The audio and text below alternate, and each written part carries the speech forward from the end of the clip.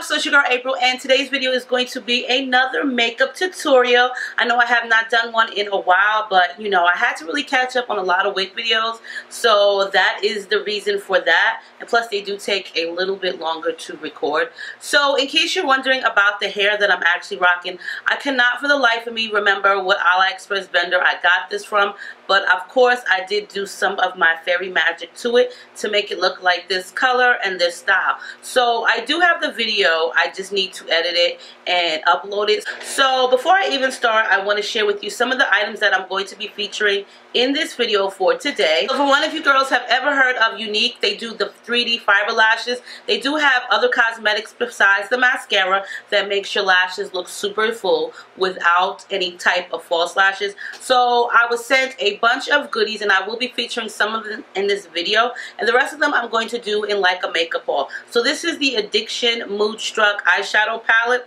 and it does come with seven eyeshadows. They're more or less kind of like smoky and very kind of like deep colors. The eyeshadow palette is really, really great. I did use several colors in the palette, so this is also featured. Of course, the infamous 3D Lash Mascara and Fibers are also going to be featured in this. The packaging has actually changed because I did do a video on this a couple of years ago. So the packaging changed and it looks a lot more like feminine right about now. So I do like that.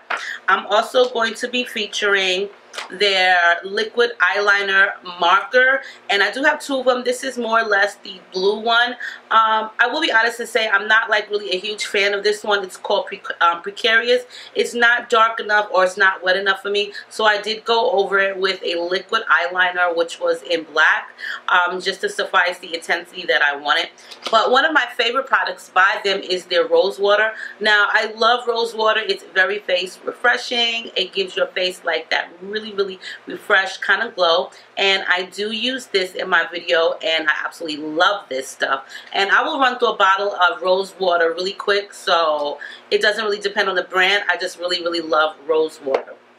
Also, I'm going to also be featuring one of their lip balms, um, which I have one right now, and I will showcase that in the video as well as that as one of the new brushes by Wet n Wild, which is their contour brush. So this is super inexpensive. I've seen this so many times at Walgreens, and that's actually where you can pick it up. It really did contour and chisel out my cheeks, which I think this is going to be like one of my daily brushes for now on, as well as I'm going to be using the new Rimmel Smoke and Shine Exaggerate eyeliner in navy are, is it called Navy Blue Steel. So I will be featuring those in my video amongst other products that I will also list for you girls below. So if you're interested in this look, oh, and did I mention I have on glitter. So I will be using some glitter. First time ever using glitter on camera. So I will be featuring glitter in this video. So yeah, stay tuned for the video. Make sure you rate, comment, subscribe,